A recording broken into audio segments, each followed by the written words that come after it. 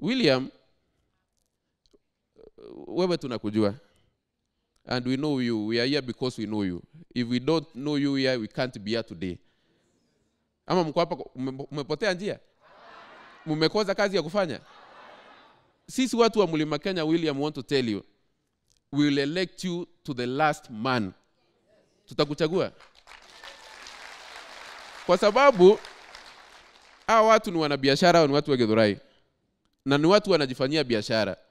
You don't come to Mount Kenya and tell us utatulipanga pesa bila kufanya kazi. We work for our money.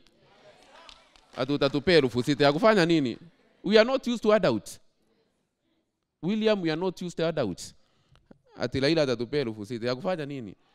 We want biashara zetu zitengenezwe. Tunataka loan zianguke interest, na si tutafanya kazi ama mnataka adult We don't want adults.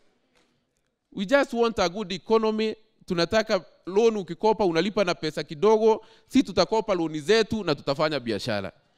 Finally, William,